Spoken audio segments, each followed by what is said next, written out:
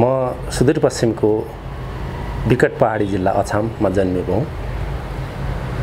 हुँ। म सानो छँदा मेरो खेलको कुरा गर्ने हो भने मलाई वास्तवमा खेलकुद के हो? र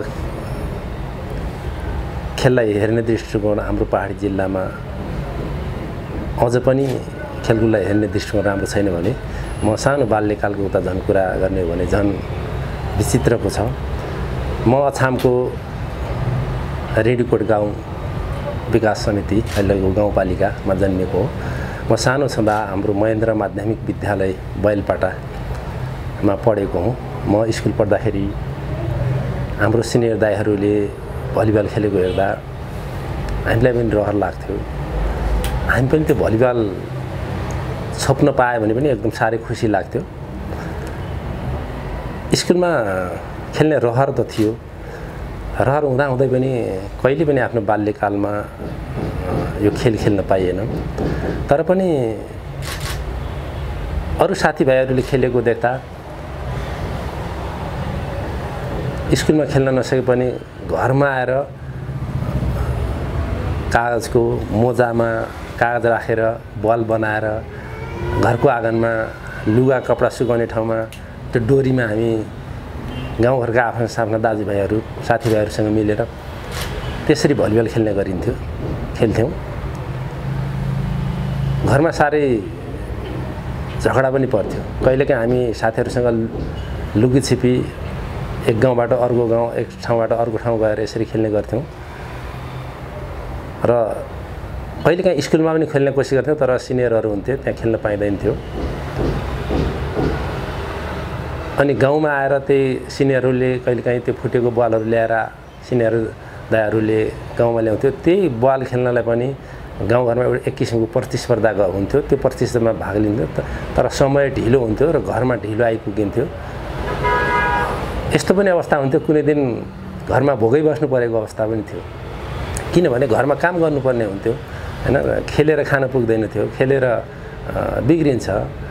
खेल पढ्नु छोडेर किन खेल्न गएको भन्ने घरको आमा बाउको भनाइ हुन्थ्यो अन्य दाजुभाइ सबैको भनाइ हुन्थ्यो पढ्नुपर्छ खेलेर हुँदैन हाम्रो यस्तो अवस्था यस्तो छ भन्ने हुन्थ्यो। त्यही भएर तर पनि आफ्नो मनले मान्दैन थियो। स्कुलबाट झोला फाल्ने बित्तिकै लापत्ता भइन्थ्यो एकपल्ट साँझ पख घर पुगिन्थ्यो र साँझ पख घर आइपुग्दा घरमा कति बेला कुनै दिन त घरमा आमा बाबुले भित्र पनि नआइजा नपस भने उल्टो फर्केर साथीभाइ घरमा सुते अवस्था पनि हो बाल्यकालमा।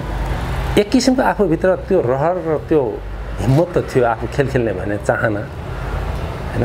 तर त्यसको बावजुद पनि हुँदाहुँदै चाहना हुँदाहुँदै पनि त्यो किसिमको वातावरण थिएन। त्यति बेला जति बेला हामी स्कुल पढ्थ्यौँ। स्कुलमा खेल्ने रहर हुँदा पनि त्यसको विकल्पमा हामीले के गर्थ्यौँ भने जस्तै घरबाट खाना खाएर स्कुल जान्थ्यौँ। स्कुल जाँदाखेरि पनि खेतका बाह्र कान्ला गराहरूमा एउटा खेलकै रूपमा खेतका गराहरू नागेर जम्प गरेर नाग्ने कसले बढी परसम्म जम्प गर्ने कसले डोरी टाँगेर हाई जम्प लम्प जम्प यस्तो ट्रिपल जम्प हुन्थ्यो। खेतका गरामा खाली धान सान काट्ने बित्तिकै खाली भएको ठाउँमा त्यहाँ हामी खेल्थ्यौँ। अनि कहिलेकाहीँ स्कुलबाट भागेर कहिलेकाहीँ स्कुल पनि गइदिन्थ्यौँ। यस्तै कम्पिटिसन गर्ने एक गाउँको सानो गाउँका केटाहरूसँग गएर आज यस्तो गर्ने आज यहाँ खेल्ने यो जाने भन्ने यस्तै उटपटाङ खिसँग हुन्छ नि बालक अवस्थामा यस्ता कार्यहरू धेरै गरिन्थ्यो। होइन? यसै क्रममा जसोतसो गरी यसरी स्कुलको लाइफ भनौँ दस क्लाससम्मको लाइफ पढाइ सिद्धाइयो त्यति बेला भन्यो भने पढाइमा पनि म त्यति राम्रो थिइनँ।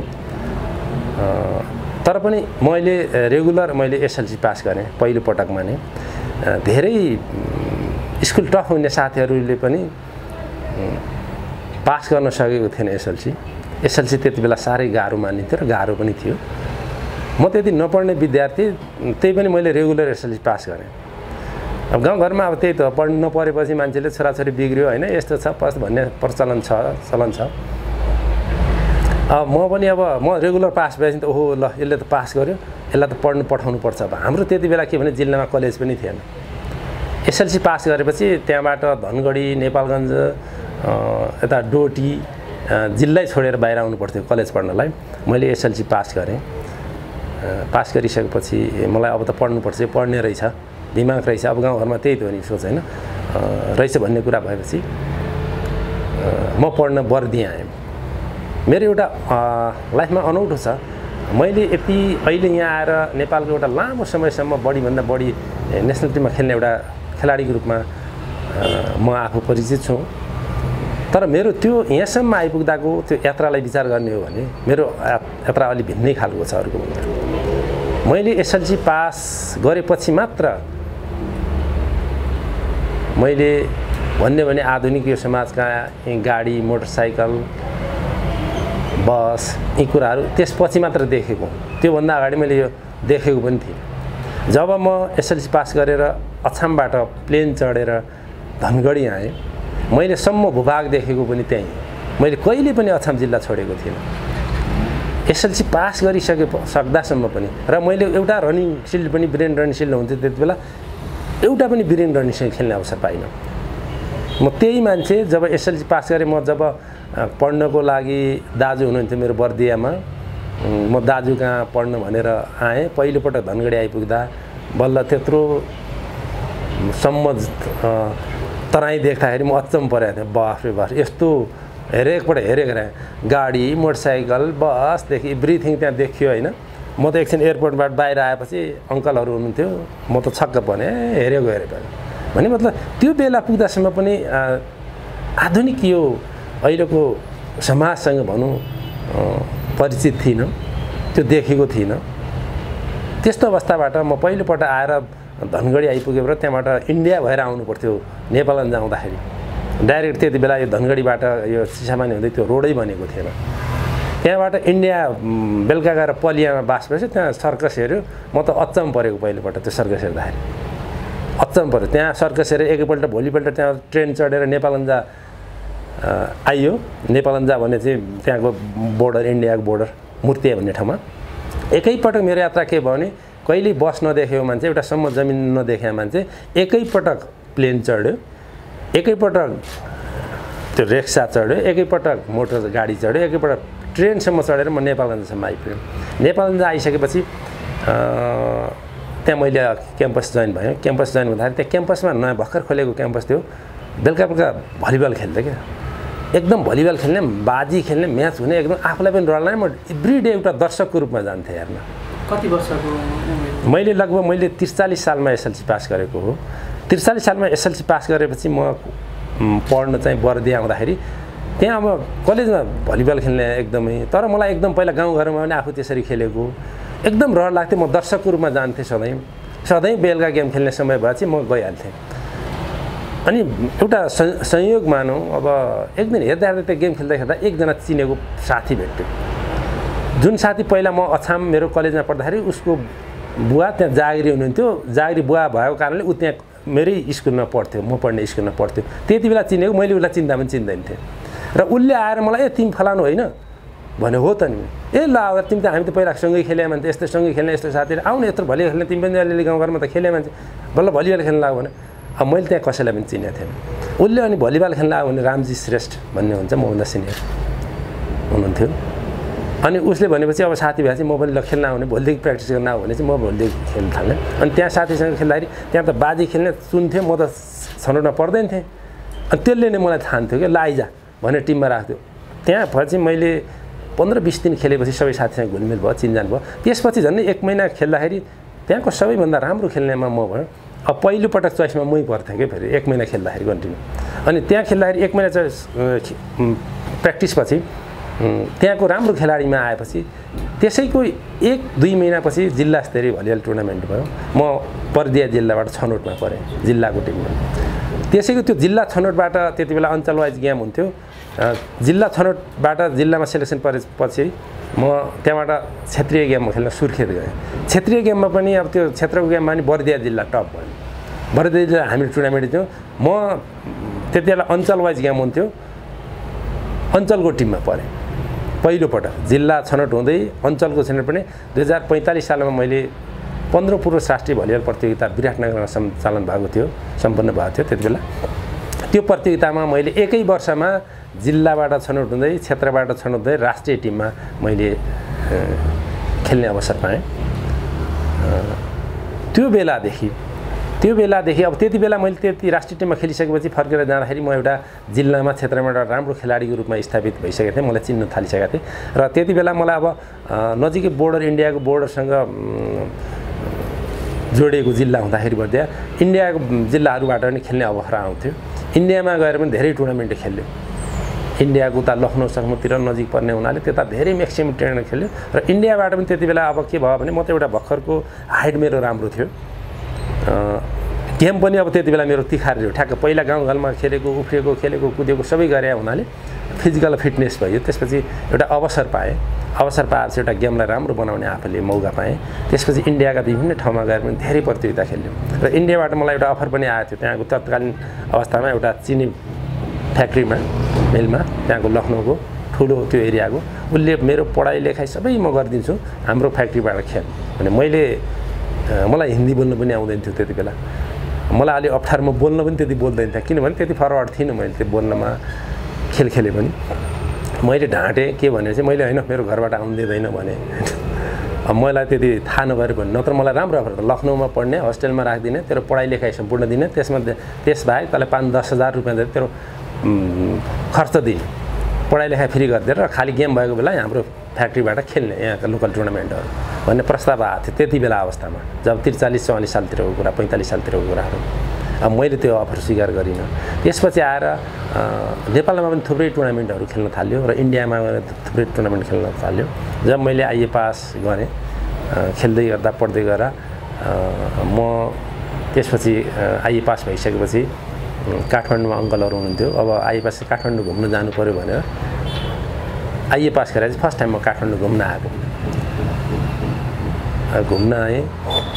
घुम्न आइसकेपछि पहिलोपटक गएँ। म काठमाडौँमा अब काठमाडौँ देखेकै थिएन यस्तो हावापानी वातावरण मान्छे विकास सहर बजार यस्तो होइन यहाँ आउँदाखेरि पनि मलाई काठमाडौँबाट पहिलोपटक म घर फर्काउँदाखेरि आँखाबाट आँसु आएको थियो मेरो। काठमाडौँ छोड्नै मन लागेको थिएन। यस्तो ठाउँबाट पनि फर्काउनु पऱ्यो भन्ने जस्तो लागेको थियो पहिलोपटक आउँदाखेरि। फेरि दोस्रो पटक फेरि गएँ। पहिलोपटक आएको थियो एक किसिमको यहाँ अङ्कलहरूसँग मलाई जति वर्ष पनि खासै फरक पर्दैन थियो। फेरि दोस्रो पटक घुम्न आएको बेला यहाँ असैको इक्जाम खु फ्री कम्पिटिसन खुलेको रहेछ परेड सहायक निरीक्षक पदमा। मलाई पुलिस फोर्सतिर आउने पहिला कुनै रहर र चासो नै थिएन मेरो लक्ष्य उद्देश्य नै थिएन। यहाँ असैमा खुल्या रहेछ साथीहरूको लैलेमा लाग्यो अरे जागिरी खानुपर्छ दिउँ यहाँ खुल्या रहेछ भनेर फर्म भर्यो असैको असैको फर्म भरेपछि म त फिजिकल पहिला नै खेलाडी नेसनल लेभल खेलिसकेँ। मलाई फिजिकल गर्न कुनै गाह्रो पनि हाइट पनि राम्रो भएको। फुर्तिलो होइन? त्यति बेला होइन? भएपछि मैले अस अब्सटाकल थियो पहिला सुरुमा जाँदाखेरि मैले टप गरेँ सबैलाई। त्यति बेला एकजना मलाई डेस्ट साफ एउटा नाम थाहा छ अहिले पनि थाहा छ। मलाई नमुना देखाउनुहुन्थ्यो है यस्तो हुनुपर्छ पुलिसमा जागिरी खाने मान्छे भनेको। यी हाइड हेरेर फुर्तिलो हेरेर यसको हेरेर फिजिकल फिटनेस सबै कुरा यस्तो मान्छे हुनुपर्छ भन्ने भन्दै हुन्थ्यो त्यति बेला होइन? अनि मैले त्यो फिजिकलमा टप गरेँ। म भर्खर आइए पास गरेर आएको मान्छे होइन? मलाई त्यो पास गर्न खासै गाह्रो भएन।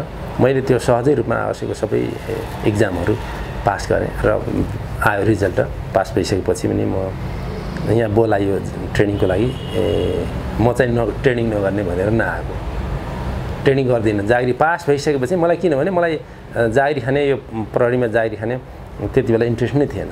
म त एउटा मेरो त के सोच भइरहेको थियो एउटा नेसनल लेभलसम्मको प्रतियोगिता खेलिराख्यो भोलि एउटा इन्टरनेसनल प्लेयर बन्ने र भयो भने भोलि कोच भलिबलको कोच नै बन्ने भन्ने एक किसिमको सोच थियो होइन?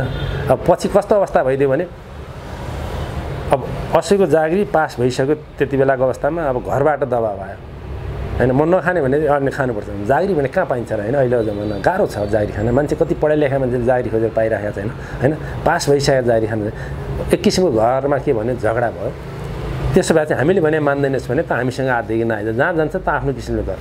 होइन मान्दैन कि हामीले भने मान्छे गर भनेपछि मैले बाध्यताले तालिम जोइन हुन आएँ।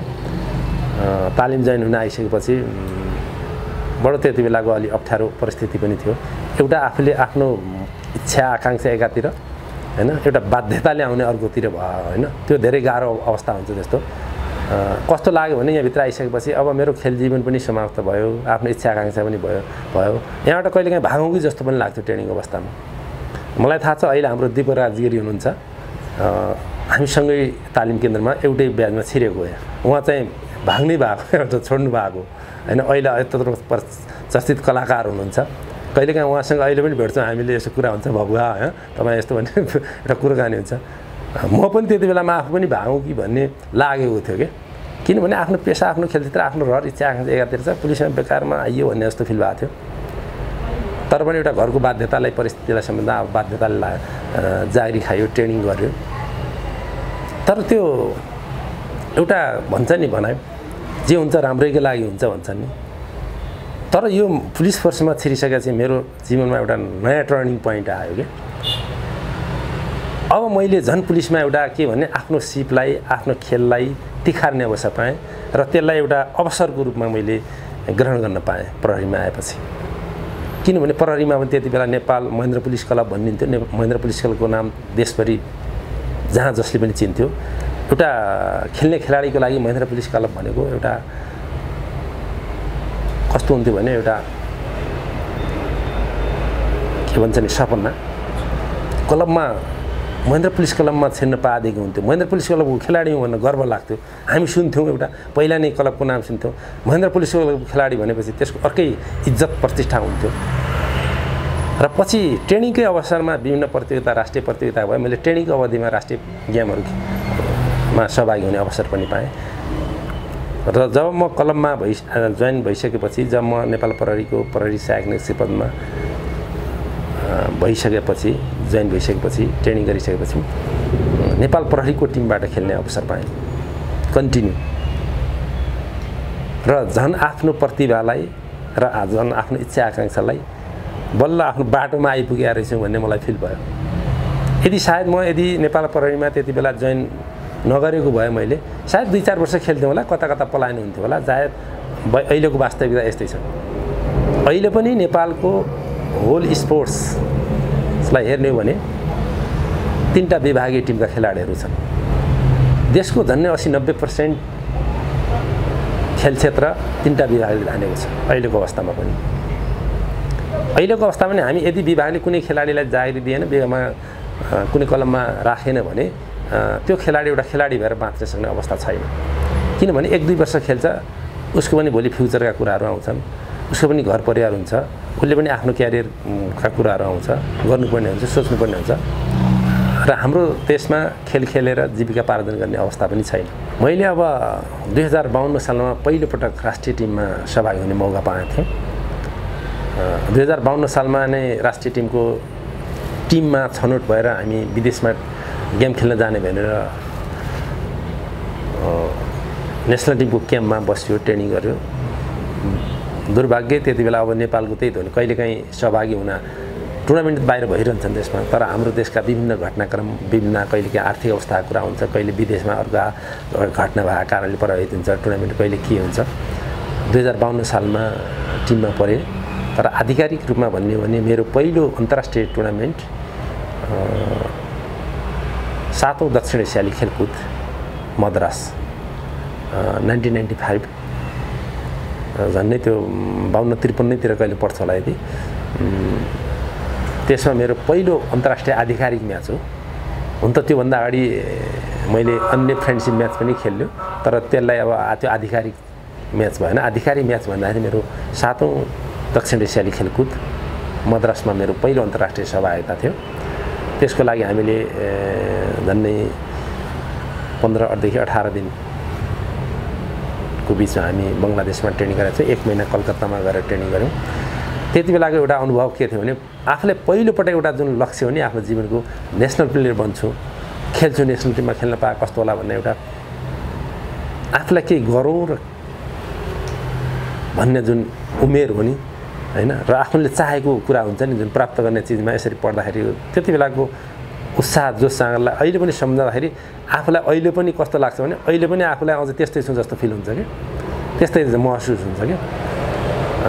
जुन उद्देश्य लक्ष्यमा आफू सोचेको छ त्यही लक्ष्यमा जाँदा पुग्दा त्यो पहिलोपल्ट हुँदा गयो मद्रासमा खेल्यो त्यति बेला। फर्कँदाखेरि एउटा आत्मा कस्तो हुँदो रहेछ भने एउटा गर्वको फिल्ममा अब नेसनल प्लेयर भयो। राष्ट्रको प्रतिनिधित्व खेल्यो। यसले म अझ भोलि अझ राम्रो गर्छु। अझ पनि नेसनल प्लेयरमा पनि अब टप प्लेयर बन्छु भन्ने हुन्छ नि त। देशको लागि राष्ट्रको लागि। खेलकुदलाई अलिकति बुझ्ने मौका अलिकति जान्ने मान्छे। भन्ने भने त्यहाँसम्म पुग्दा एउटा इन्टरनेसनल टुर्नामेन्ट खेल्दा एउटा राष्ट्रको प्रतिनिधित्व गर्दासम्म पनि वास्तवमा भने मैले अहिले आएर जति कुरा गरिरहेको छु अहिले खेलकुदको महत्त्व खेलकुदले के दिन्छ के सिकाउँछ के पाउँछ खेलकुदबाट भन्ने अहिले पाएको तर त्यति बेलासम्म मैले नेसनल टिममा खेल्दासम्म खेलकुद भनेको के हो के हुन्छ के पाउँछ के सिक्छ भने बढी जस्तो रहर र जोस जाँगर मात्रै थियो कि। मैले राष्ट्रिय प्रतियोगिता पच्चिस वर्ष कन्टिन्यू खेलेको छु भलिबल। त्यो बिचमा भलिबल बिच भलिबल उन्नाइस सौ सन्तानब्बेमा नेपालमा पहिलोपटक बिच भलिबलको राष्ट्रिय प्रतियोगिता भएको थियो भक्तपुरमा। अनुप शमशेर जबरा नेपालको पहिलो भलिबल सङ्घको अध्यक्ष हुनुहुन्थ्यो। त्यति बेला गणेशमान सिंह प्रमुख अतिथि हुनुहुन्थ्यो। मलाई थाहा छ त्यो एउटा त्यो टुर्नामेन्ट नेपालमा पहिलोपटक भएको राष्ट्रिय प्रतियोगिता हंसराज वाग्ले र म जोडी भएर खेलाएको थियौँ। तत्कालीन टिम क्याप्टेन हाम्रो सुनिल चौधरी र भाइस क्याप्टेन हाम्रो विष्णु मास्के हुनुहुन्थ्यो। उहाँको जोडीसँग हाम्रो फाइनल पुगेका थियौँ। हामी भर्खरको जुनियर प्लेयर मैले भने नि त भर्खर नाइन्टी फाइभमा पहिलो गेम नेसनल टिममा डेब्यु गरेको। उहाँहरू नेसनल टिमको सिनियर खेलाडीहरू हुनुहुन्थ्यो। दुईवटा एउटा क्याप्टेन एउटा भाइस क्याप्टेन। उहाँहरूसँग फाइनल पुगेका थियौँ। नेपालमा बिच बलियाल भने बिच बलियाल बाल्लोमा खेलेर कृति बाल्यको कोड बनाएर बाल्लो हालेर त्यसरी खेलेको पहिलोपल्ट भनेर मिडियादेखि लिएर पब्लिक पनि धेरै भिडभाड थियो त्यति बेला। भक्तपुर एउटा जुन ठाउँमा त्यो बिच बलियाल भएको थियो त्यो एउटा खेलको लागि एउटा पपुलर ठाउँ पनि हो त्यो ठाउँ। त्यो ठाउँमा मान्छे पनि टनाटन थियो पहिलोपटक त्यसमा हंसराज र म भएर हाम्रो सुनिल दाई र विष्णु दाईको जोडले हामी पहिलोपल्ट जितेका थियौँ। त्यो नेपालको पहिलो बिच भलिबल टुर्नामेन्ट पनि थियो। दुई हजार सात र पाँच र सात कुरा हुनु त्यो बङ्गलादेशमा हामी त्यसपछि बङ्गलादेश भलिबल फेडरेसनले प्रत्येक वर्ष या दुई दुई वर्षमा एउटा साउथ एसियन लेभलको एउटा च्याम्पियनसिप भनौँ बिच भलिबल च्याम्पियनसिप भनेर एउटा टुर्नामेन्ट अर्गनाइज गर्छ। त्यसमा हामीलाई पनि बोलाएको थियो। त्यसमा गएर दुई हजार पाँच र सातमा गएर मैले गोल्ड मेडल जितेको थिएँ। म र प्रेम भण्डारीको जोडीले दुई हजार पाँचमा जितेँ दुई हजार सातमा म प्रतियोगिताको उत्कृष्ट खेलाडी पनि बनेको थिएँ। हाम्रो देशमा बाल्लो छैन बिच छैन। हामीले यही भलिबल कोर्टमा ट्रेनिङ गरेर दुई दुईजना प्र्याक्टिस गरेर बङ्गलादेशमा गएर बाल्लो कोर्टमा खेल्यौँ खेल्नुपर्छ। त्यहाँ गएर पनि हामीले त्यो लेभलमा एउटा जुन उपलब्धि हासिल गऱ्यौँ। मलाई के लाग्छ भने साँच्चै हामीले पनि खेलकुद यदि हाम्रो देशमा पनि बिच मात्र होइन भलिबल मात्र होइन अन्य कुनै पनि गेममा यदि सानो उमेरदेखि नै त्यो सुविधा पाएर त्यो भौतिक संरचनाहरू जुन छन् बाहिरको त्यस्ता संरचना भएर यहाँ हाम्रो देशमा पनि भइदिएको भए त्यो उमेरदेखि नै हामीले पनि खेल्न पाइदिएको भए त्यो भलिबल होइन सारा नेपालको खेल क्षेत्र अझ धेरै बेटर हुन सक्थ्यो र हुन्थ्यो। मैले तपाईँलाई नाम नभनौँ। म यो भलिबलको एउटा नेसनल टिमसम्म आइपुग्न मैले उन्नाइस सौ एकानब्बे र उन्नाइस सौ तिरानब्बेको नेसनल टिमको क्याम्पमा परेर म दुईपल्ट आउट भएर उन्नाइस सौ पन्चानब्बेको ट्रेनिङमा म नेसनल टिममा परेँ मान्छे।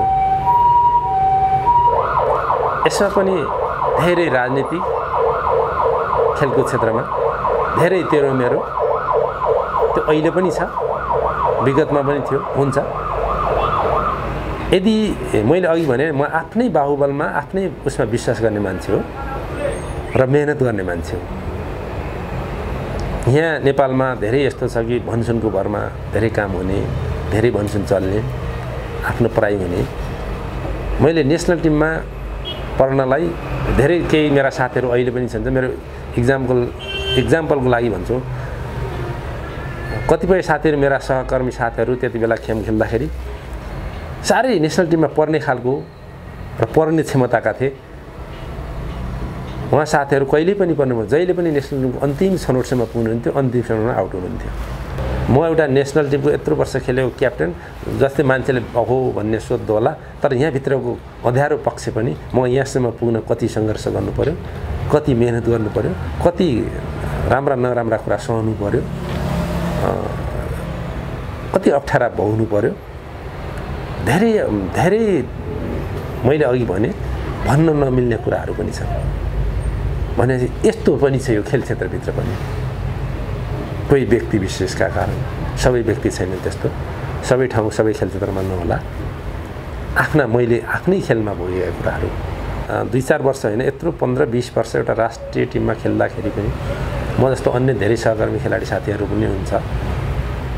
सायद कोही खेलाडी पनि आज यस्तो छैन कि जुनले मैले पन्ध्र बिस वर्ष गरेँ आहा आज यसरी आफ्नो जीवनयापन एउटा खेल क्षेत्र मलाई पुगे पुगेको छ एउटा खान लाउनु मस्त पुगेको छ राम्रो ठिक ठाउँमा छु भन्ने सायद कुनै खेलाडी छैन। यो अवस्थामा कुनै पनि खेलाडीले पनि आफ्ना छोराछोरी साथीभाइलाई कसरी के सजेसन दिन्छन्? होइन? तर एउटा कुरा यथार्थ त के भने जो खेलकुदमा लागेका छन् जो खेलकुदमा लाग्छन्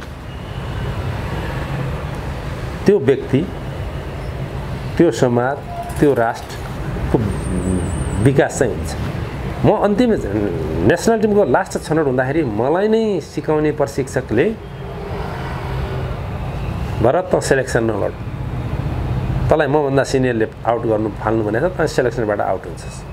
मैले फाल्नै पर्छ मैले पनि जागिरी खानुपर्छ। म पनि जागिरी मान्छे। हो सेलेक्सन नगर हो। यस्तो खालको आफ्नै आफैले सिकाउने कोचले आफूलाई यस्ता प्रति आफू ट्रेनिङमा राखे कस्तो फिल हुँदो होला? स्वाभाविक रूपमा मैले त खेलमा बेकार लागेको छु। किन खेलेँ? कहिले त नखेलौँ कि जस्तो लाग्नु? स्वाभाविक। तर मैले मैले उल्टै भनेको छु। म गुरु मेरो गुरु नै हुन्थ्यो म नाम लिँदिनँ। म कसैको चाकरी चाप्लुसी गरेर यहाँ खेल्न आएको होइन। म मेहनतमा विश्वास गर्छु। मभन्दा राम्रो खेलाडी आयो भने म स्वागत गर्छु। तर गलत प्रवृत्ति भयो भने म त्यसको विरोध गर्छु म सहँदैन। तपाईँले पनि यो कुरा तपाईँको जसले सिनियरले भन्यो उहाँलाई पनि भनिदिनु होला। तपाईँले पनि सचेत रहनुहोला म सिलेक्सन लड्छु लड्छु।